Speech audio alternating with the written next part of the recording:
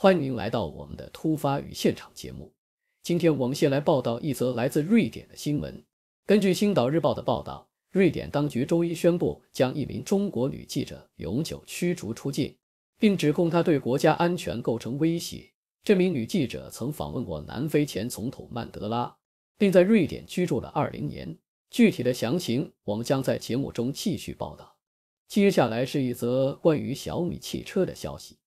根据报道，小米汽车的首批车主已经开始拿到他们的车辆，但是也有一些车主投诉车辆存在一些品质问题，比如掉漆等。小米汽车表示，他们会与车主协商解决这些问题。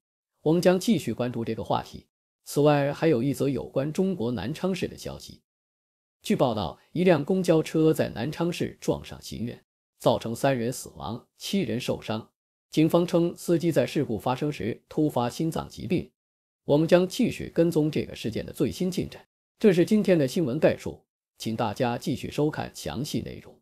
遭瑞典永久驱逐中国女记者曝光，曾访问南非前总统曼德拉。星岛日报、瑞典电视台 SVT 周一七日报道，斯德哥尔摩 （Stockholm） 当局指控一名中国女记者对国家安全构成威胁，并已将她驱逐出境。瑞典安全局 （Swedish Security Service） 于去年十月逮捕该名五十七岁中国女记者，上周将她驱逐出境，并禁止她再度入境瑞典。当局并未透露该名记者的姓名。据报道，该名女子约二十年前来到瑞典，拥有居留证，并已与一名瑞典男子结婚生子。到瑞典二十年。另一家瑞典媒体中国新闻 Kana Media 报道说，被驱逐的中国籍女记者应该就是线上媒体北欧绿色邮报的社长陈雪飞。陈雪飞还担任中欧文化协会会长。STV 指出，女子与中国驻瑞典大使馆以及瑞典境内的中国政府关系人士都有来往。美联社报道，这名女记者的律师卡德柳 Lotran Kadriu 告诉 STV。他的当事人不认为自己对瑞典构成威胁，我很难透露具体细节，因为攸关国家安全，许多事情都是机密。挪威广播公司 NRK 报道，该名记者也曾在挪威和丹麦、芬兰和冰岛等北欧国家从事新闻工作，曾在中国国际广播电台工作十五年。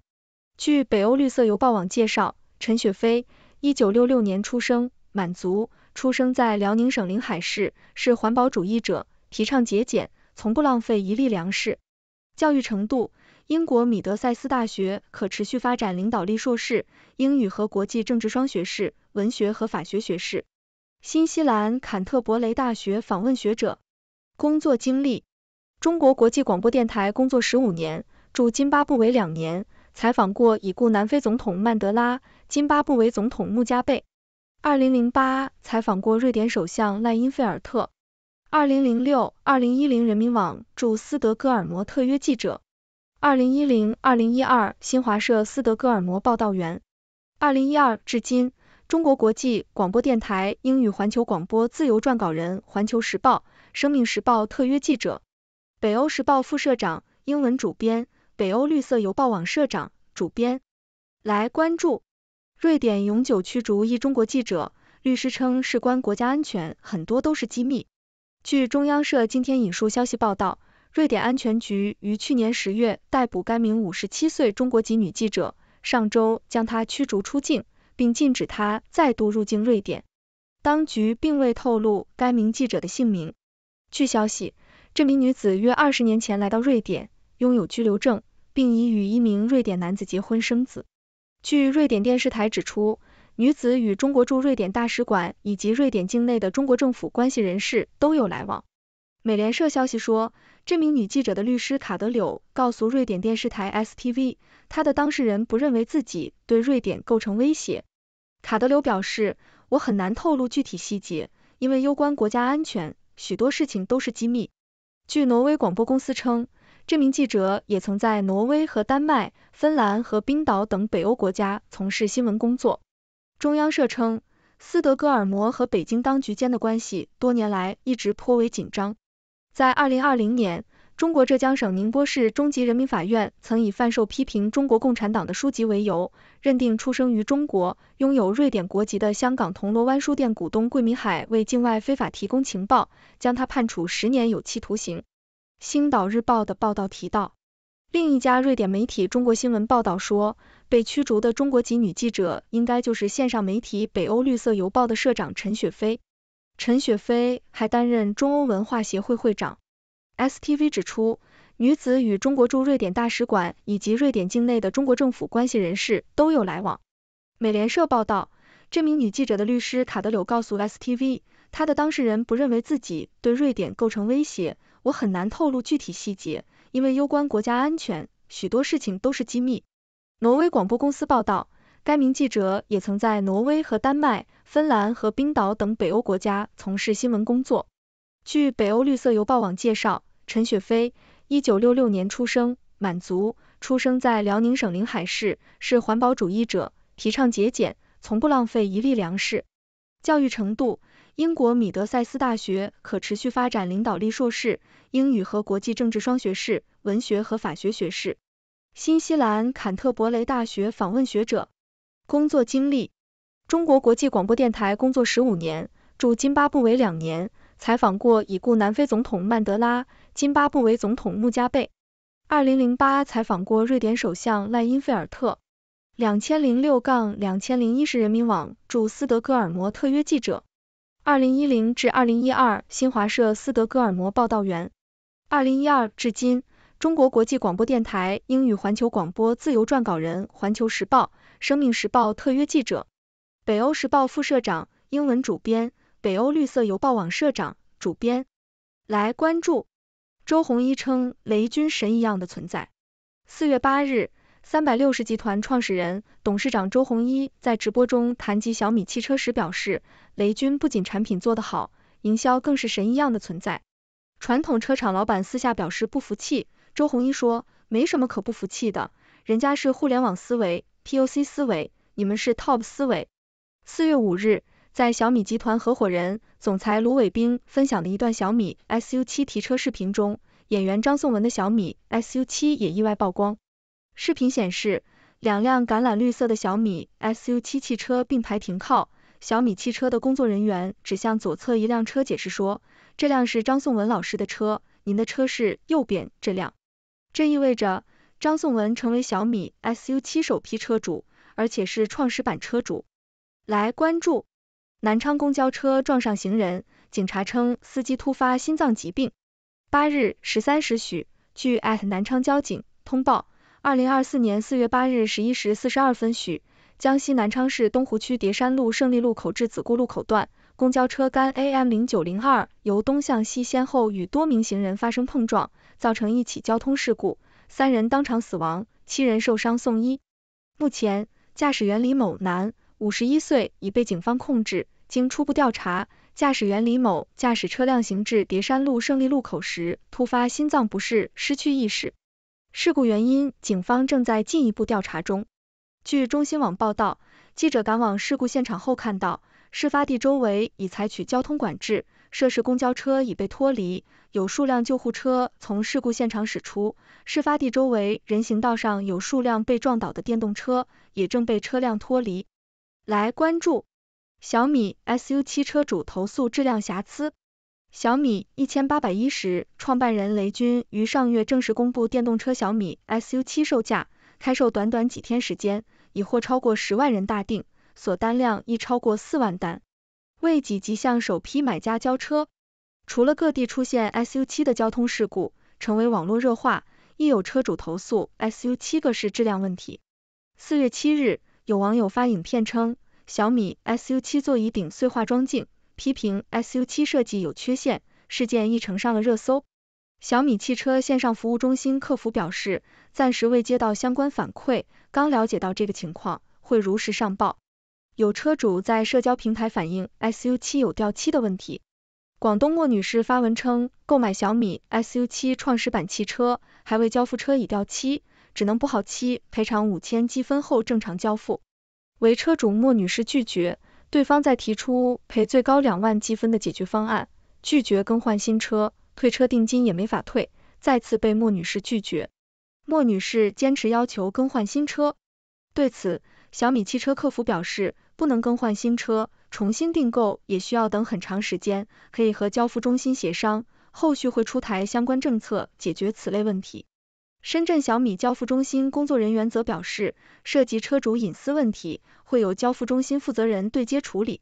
早前，亦有网民拍片反映，只要用轻力，就能 SU7 的车头保险杆按制变形，质疑造工质素。有网民形容是橡皮车，不过有网民反指物料只在吸震缓冲。虽然影片引起网民热议，不过有网民指出，小米应公布 SU7 的撞击测试。来关注，顾客在东大方酸菜鱼中吃出甲鱼片，店家说是烧老了。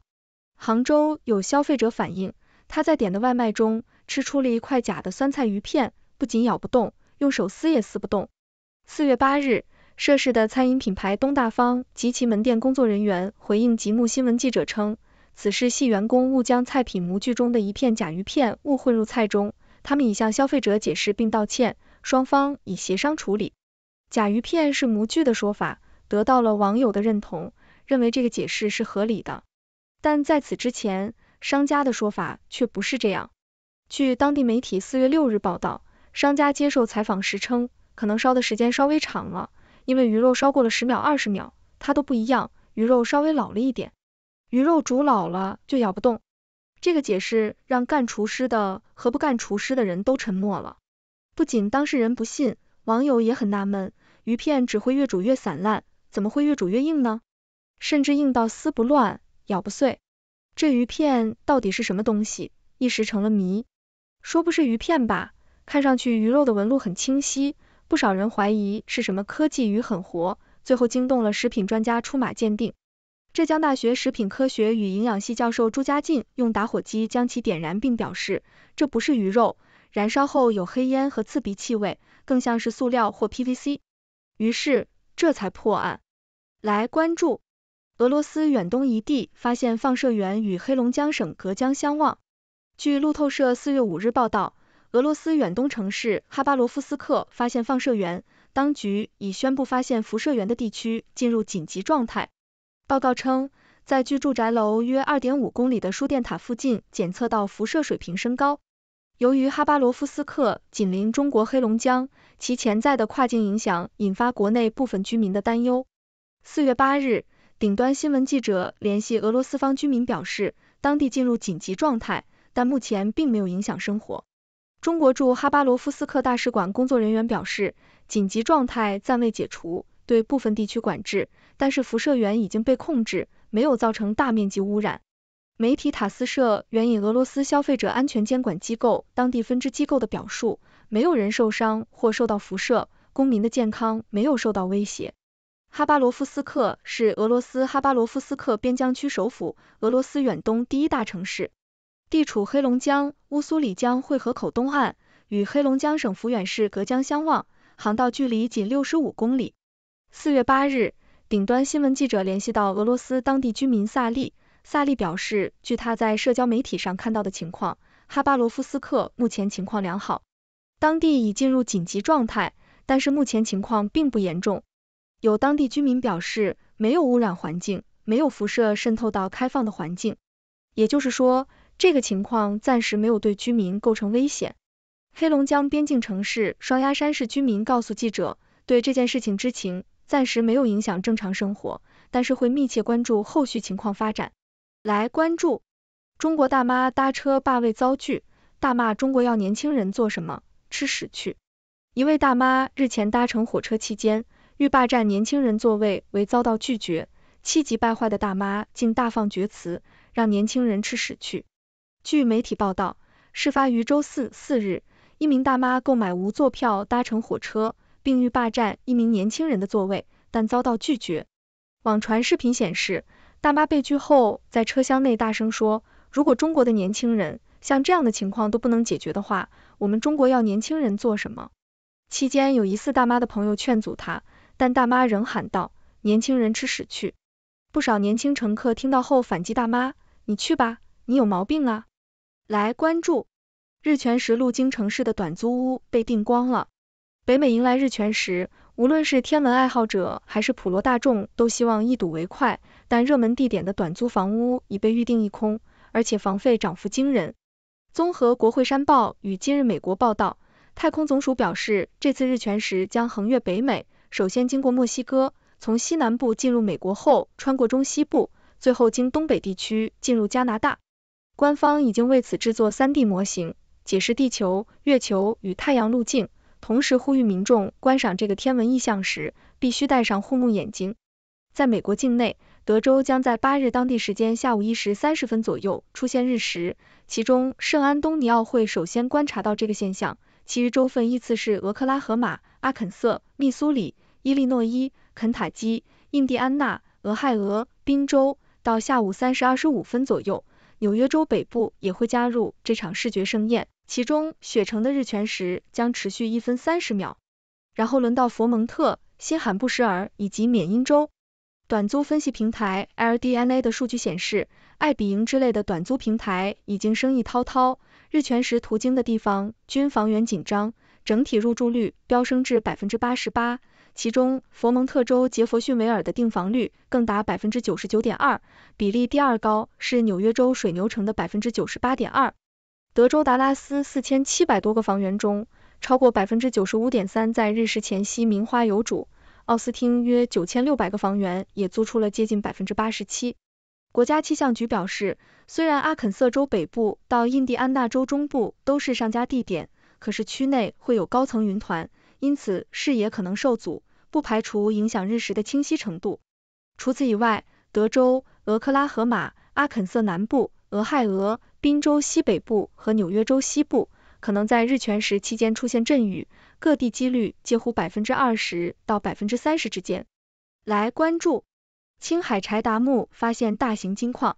据青海新闻网报道，近日，记者从青海省科技厅了解到，省级重点研发与转化计划项目青海省柴达木南北缘大型超大型金矿深部资源预测研究取得突破性进展，新增金资源量四十三点二吨。由青海省第一地质勘察院联合中国地质大学北京、都兰金辉矿业有限公司、大柴旦矿业有限公司共同承担的省级重点研发与转化计划项目青海省柴达木南北缘大型超大型金矿深部资源预测研究，提出了柴达木南北缘地区的大规模金成矿事件与原特提斯洋及古特提斯洋的碰撞造山和后碰撞造山耦合关系，构建了滩尖山。五龙沟金成矿模式和三个柴达木主要金矿田三维地质模型，研发了五龙沟、滩尖山深部找矿有效方法组合体系，建立深部勘查示范工程一项，提交深部找矿靶区十二处。提交的找矿靶区经工程验证，新增金资源量四十三点二吨，创造潜在经济价值超二百亿元。项目在柴达木盆地南北缘开展深部金矿找矿理论和技术方法研究，构建了深部预测找矿模型，提出最佳技术方法组合和工作流程，为全省深部矿产资源探测提供了有力支撑。素有“中国聚宝盆”之称的柴达木盆地，地处青海省海西蒙古族藏族自治州，面积为二十五点六五万平方公里，是中国重要的能源和矿产资源富集区之一。其中，位于柴达木盆地北缘的滩尖山金矿和柴达木盆地南缘的五龙沟金矿，是青海省柴北缘成矿带、东昆仑成矿带最具代表性的大型、超大型金矿床，也是青海省级科研勘察开发为一体的示范型矿山。据悉，柴达木盆地南北缘大规模金矿化的多期次特点与区域多期、多阶段的构造及岩浆热液活动，导致研究区金成矿规律、控矿要素等认识不足。加之研究区金矿深部定位预测研究的水平低，技术手段单一，制约了金矿深部的快速评价和找矿突破。据中国矿产地质志青海卷普及本记载，截至二零一七年底，青海省查明黄金资源储量四百八十一点六六吨，保有资源量三百四十七点一七吨。截至目前，青海省已发现金矿产地三百四十六处，最大金矿为玉树藏族自治州曲麻来县大厂金矿。金资源量为一百零八点六三吨。来关注，彭博社称，阿里云服务全球削价可达百分之五十九。据彭博社星期一四月八日报道，阿里巴巴集团 （Alibaba Group） 正在削减全球云客户面对的价格，从美国到新加坡的云客户获得的价格下调可多达百分之五十九。此举与集团在中国国内的大幅折扣相呼应。他这个一度风光无限的业务，正在努力抵御竞争对手并重振增长。此举恰逢云计算需求激增，以支持全球人工智能发展热潮，以及该集团复杂的内部重组。阿里巴巴集团首席执行官吴永明正在带头进行一项影响深远的改革，试图重振阿里巴巴包括电子商务在内的主要业务。集团去年十一月取消了云业务公开上市的计划，理由是难以获得与对手竞争所需的高端英伟达芯片，并且面临着来自腾讯和中国政府支持的供应商日益激烈的竞争。总部位于中国杭州的阿里巴巴集团，星期一将约五百种云产品规格的价格平均下调了百分之二十三。这些折扣现已提供给十三个地区的客户，包括日本、印度尼西亚、阿拉伯联合酋长国和德国。阿里巴巴是中国最大的云服务供应商，但与全球领先的亚马逊公司和微软公司相比，其规模相对较小。它在中国的市场份额正在被政府支持的竞争对手侵蚀，并且近年来在海外难以取得任何进展，因为中国对互联网公司的打击和美国的贸易限制阻碍了它的业务扩张。集团这个云业务的收入在上财年超过一百一十亿美元，预计第三季将下滑百分之二。阿里巴巴集团主席蔡崇信上周在接受采访时承认，美国芯片限制对中国云服务供应商构成了大问题。蔡崇信表示，虽然库存仍可用于在未来十二至十八个月内训练大型语言模型，但在出现强大的国内替代品之前，获取英伟达一流人工智能硬件的限制，将在中短期内对这些公司产生影响。谢谢您的收看。上面播报的内容是六度团队推荐的全球专业媒体、智库、政府机构和行业专家的最新报道、分析简报。更详细的内容，请大家去这些媒体。智库的网站阅读，这些内容并不一定反映六度简报的立场，亦不能作为任何决策的建议。六度团队由专业媒体人、学者、科学家组成的独立新型媒体，大家可以根据自己的专业要求订阅各种简报。网址是六度 brief 点 com。您在世界任何地方都可以通过电邮收到六度简报。